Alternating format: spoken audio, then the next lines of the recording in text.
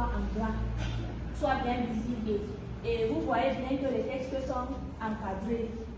Pour que, pour que je puisse encadrer le texte, j'ai utilisé la propriété border d'un pixel et le padding de 5 pixels et le background et le background color. J'ai mis une couleur Alice Blue.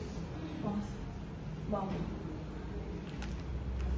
Pour que, pour que mon mail soit à, à l'aide d'un clic, puisse accéder à mon mail, j'ai utilisé la balise A. La balise A avec euh, le hashtag mail où j'ai écrit mon mail et après avoir fermé la balise, j'ai écrit euh, mon adresse mail. En bas, nous voyons qu'il y a euh, des points, points, points. J'ai utilisé, pour mettre les points, j'ai utilisé les balises all,